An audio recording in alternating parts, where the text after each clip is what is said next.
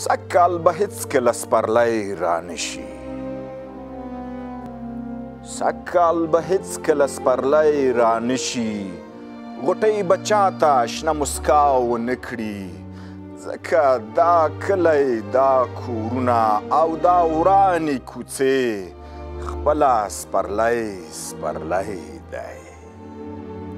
او راټوکیږي هره ورځ پکې دښتي ګلونه